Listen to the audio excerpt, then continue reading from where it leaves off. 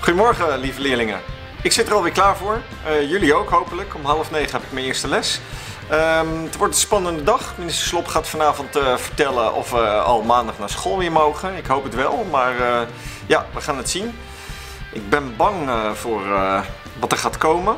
Ik wil iets anders bespreken. Dit hele gedoe waar, waarover het natuurlijk gedoe begonnen is, dat coronavirus. Een ex-leerling van mij met wie ik nog af en toe e-mailcontact heb, die schrijft mij een mailtje naar aanleiding van wat ik haar heb geschreven. Want zij werkt in een ziekenhuis, is inmiddels arts. Dus zij was een jaar of 10, 12 geleden was zij leerling van mij, van het KALS. En zij schrijft, wat een bizarre situatie bevinden we ons in. Toen wij een aantal weken geleden de eerste COVID-patiënten in Nederland hadden, hadden we niet kunnen voorzien hoe ons ziekenhuis er een paar weken later uit zou zien. Het is met geen pen te beschrijven hoe de situatie er nu uitziet. Per dag nemen we zo'n 40 nieuwe coronapatiënten op en daarvan belandt zo'n 30% op de intensive care. Laat staan alle mensen bij wie we afspreken dat zij gezien de leeftijd, kwetsbaarheid of voorgeschiedenis niet naar de intensive care zullen gaan. Onze overlijdingspercentages zijn er rond de 25% en gaan nog zeker verder oplopen.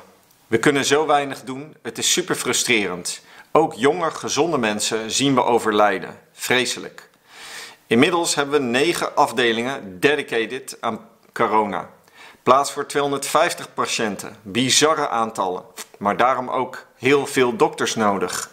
Dus inmiddels worden kaakchirurgen, orthopeden, karnoartsen etc.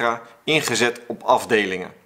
Ik zag een gifje voorbij komen met de tekst Stay home if you don't want your you know, uh, pneumonia treated by an orthopedic surgeon. En het is echt helemaal waar. We moeten ze flink bijscholen, op zijn zacht gezegd.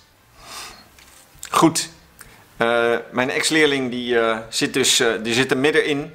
En wat belangrijk is, is volgens mij dat we ja, weten waarom we dit doen. Moeten gezond blijven. Ja? Hou, je, hou jezelf veilig. Zorg dat je familie veilig is. Ga niet te veel naar buiten. En als je dat doet, alleen of met je huisgenoten, spreek niet met mensen af. En vooral handen wassen. Handen wassen. Ja? Semmelweis heeft dit al ontdekt. Ja, 150 jaar geleden. Ja?